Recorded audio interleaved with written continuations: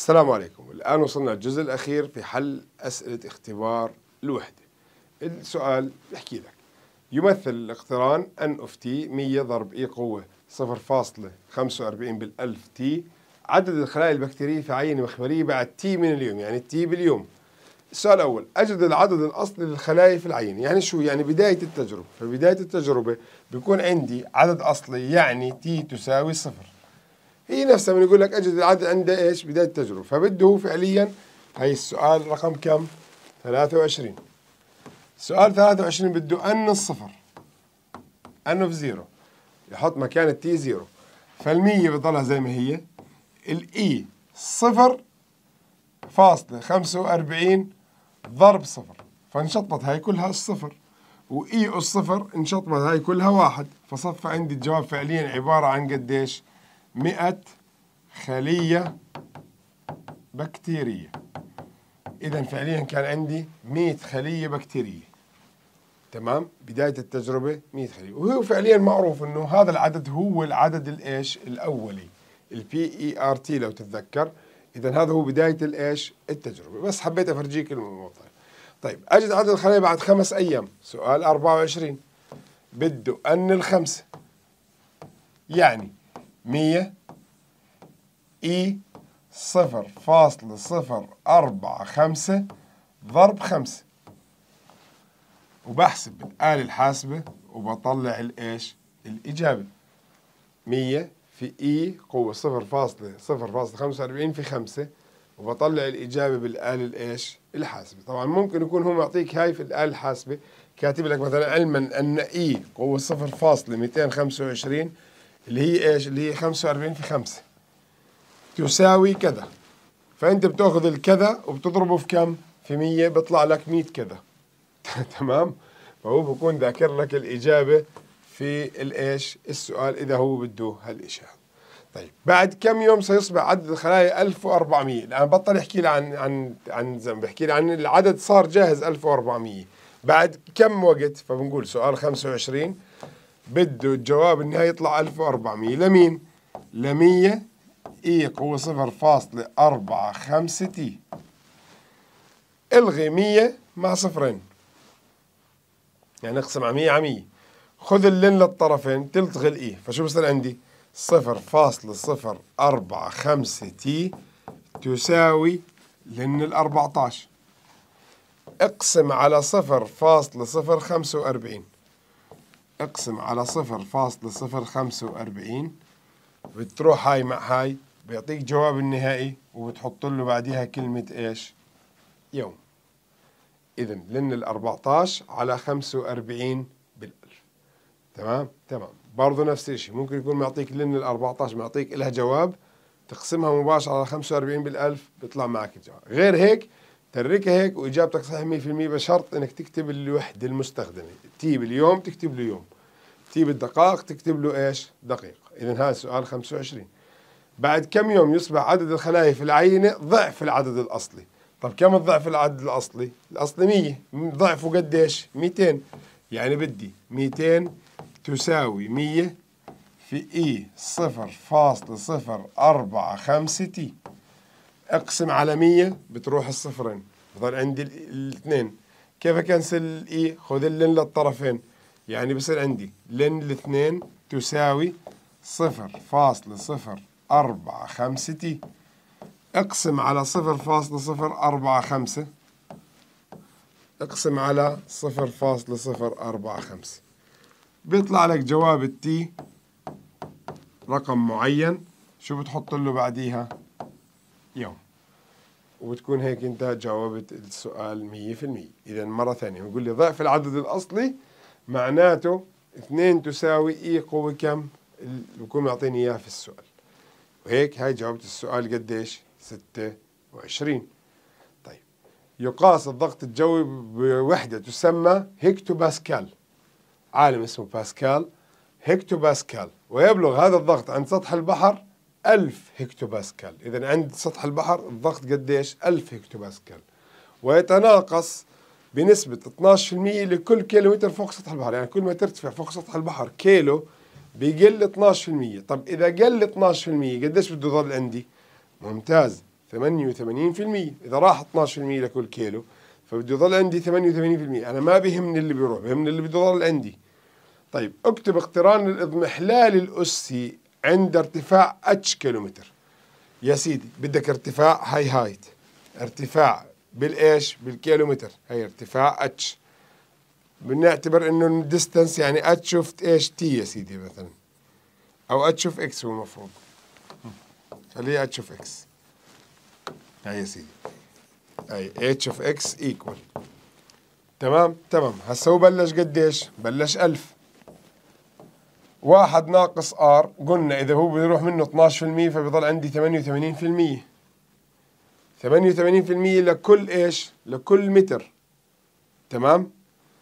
اذا هون بدك تضرب هذا الرقم في كم؟ في إتش يعني بده يصير عندي كل رقم بده ينقص عندي قديش؟ 12% فبده يصير عندي قديش؟ اللي هي عبارة عن كل كيلو متر يعني مثلا بلشنا 1000 تمام؟ بده يروح 12% منها فبتضل 88% يعني بضل عندي 880 هاي بده يروح منها 12% بده يضل فكل مرة قاعد بضرب في كم أنا؟ في 88 أس كم؟ أس t يعني كم مرة راح إيش؟ يروح الحكي هذا كله الموجود عندي. هاي اقتران أضمنة. طبعا x خلينا نحط x معناته. تمام؟ هو بده الارتفاع اتش خلينا نغير الحروف بس. المعادلة صحيح بس خلينا نغير الحروف لأنه هو طالب مني ارتفاع يكون اتش يا سيدي. هي إيش نحكي مثلا؟ أف أوف أتش يساوي الألف الأساسية. بيروح من 12% يعني بضل عندي 88% للارتفاع الكيلومتر. فعند ارتفاع كيلومتر واحد بحط هنا واحد بضربها بيطلع 88 ارتفاع كيلومترين حط هنا اثنين بيطلع لك الجواب اللي بعده وهكذا. إذا مرة ثانية. هذا الرقم الأساسي اللي هو عند سطح البحر 1000 ال 88% هي واحد ناقص 12% اللي هو حطاني إياها في السؤال. أستي لأنه كل مرة هو قال لي أصلا اقتران أستي واضح إنه لازم يكون فيها أس ومعتمدة على الارتفاع فبيكون بدلالة إيش؟ اتش طيب عند أي ارتفاع قيمة الضغط الجوي نص في النهاية؟ يعني بده إياها قديش؟ 500 متى 500 تساوي 1000 صفر فاصلة ثمانية وثمانين أس اتش اقسم على ألف. اقسم على ألف. ألف مع ألف تروح خمسمية على ألف يعني نص. صفر فاصلة خمسة. تساوي صفر فاصلة ثمانية وثمانين. أس اتش. أنا بدي اتش. فمضطر أخذ إيش؟ لوغاريثم لهذا الأساس. يعني بصير عندي كالتالي. بصير عندي لوغاريثم صفر فاصلة ثمانية وثمانين. أس اتش. الأساس صفر فاصلة ثمانية وثمانين. يساوي فاصلة خمسة للثمانية وثمانين. هذا حق كله بت cancel بضل عندي إيش؟ الاتش اللي أنا بدي إياها. وهاي بقدر أحولها للوغاريثمين. لوغاريثم النص على لوغاريثم الصفر فاصلة قديش؟ 88 وبيطلع معي الجواب. وفي الحالة هاي بقول له كيلو متر الوحدة المستخدمة هي كيلو متر زي ما هو حدد لي إياه تمام. لاحظ إني مش مهتم كثير بموضوع الحساب على ال calculator لأنها مش مسموحة لك في الامتحان. طيب نشوف هذا السؤال. تمام.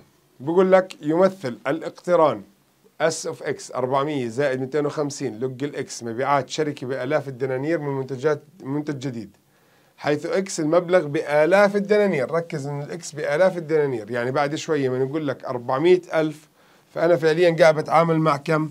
مع 400 ليش؟ لأنه قال لي بالمبلغ بالآلاف. ف 400 ألف يعني المبلغ x 400 زي هيك. وكان هو x أكبر من واحد هاي القيمة الموجوده عندك.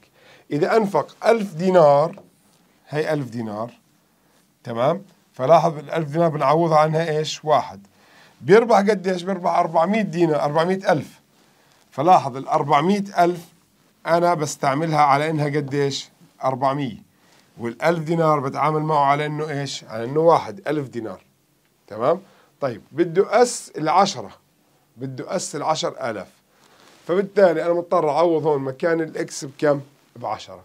وأشوف شو ممكن يسوي لي فعليا لما يجي يقول لي هو عشرة أنا فعليا شو مضطر أستعمل؟ مضطر عشر آلاف. يعني هو بيقول لي 10 بس هو قصده فعليا كم؟ 10000 فباجي بحط مكان ال x كم؟ 10000 وين؟ هون. خلينا أكتب لك إياها بهاي المنطقة. هون هيك. S العشرة تساوي 400 زائد 250 في لوغاريتم العشر آلاف. طيب الآن يساوي 400 زائد 250 ضرب. كم لق العشر آلاف؟ هلا بما أنه ما في أساس يعني أساسه عشرة. العشر آلاف عبارة عن كم عشرة في بعض؟ واحد اثنين ثلاث أربعة. فالجواب هون شو بده يكون عندي؟ أربعة. تمام؟ تمام. إذا صار عندي الموضوع 500 أو 250 في 4000 زائد 400 يعني فعليا قديش الجواب؟ 1400 بس هل من المعقول إنه إذا أصرف 1000 يأخذ 400 ألف؟ وإذا أصرف 10000 1400 أكيد لا. طب شو الحل؟ الحل إنه بدي أزيد له الآلاف الدنانير اللي قال عنها. فصفى فعليا قديش؟ صفى مليون و400 ألف. إذا صرف عش... إذا صرف آه، عشر ألاف دينار على إعلانات راح يطلع مليون وأربعمائة ألف. إذا الإجابة هي عبارة عن مليون وأربعمائة ألف دينار. تمام؟ إذا مرة ثانية. هو قاعد بيقول لي إنه كل ألف دينار أنا بستعمل مكانها رقم واحد بعدين طالب مني عشرة يعني عشرة آلاف. وبربح 400 شو يعني 400 يعني 400 ألف. تمام؟ فلاحظ الواحد حطيت له ثلاث أصفار وال400 حطيت له ثلاث أصفار فمعناته العشرة بحط لها برضه ثلاث أصفار. وبعوضها. طلع لي الجواب 1400 فقط بس هيك. 1400 شو جيت حطيت له؟ ثلاث أصفار يعني ليش ما بديش أحط له؟ فشو صفى بايع؟ مليون و400 إذا فعليا الشركة هاي راح تبيع أو راح تنتج الكمية عفوا المبيعات راح تكون مليون و400 ألف إذا أنفقت 10000 دينار على الإعلانات. تمام؟ تمام. وهيك بنكون يا شباب وصلنا لنهاية حل أسئلة اختبار الوحدة الأولى بشكل كامل. هذا الاختبار جاي في الامتحان الوزاري مية في المية. بإذن الله تعالى كل مطلوب منك. الآن بعد ما حضرت تغطي الحل وترجع تحل من جديد وتقارن حلك بحلي. إذا عندك أي سؤال أي استفسار رقمي موجود معك دائما وأبدا صفر سبعة تسعة خمسة ثمانية واحد ستة ستة واحد سبعة.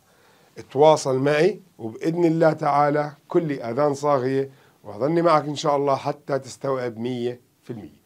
دمتم في حفظ الله. نحو الميتين بإذن الله تعالى. السلام عليكم ورحمة الله تعالى وبركاته.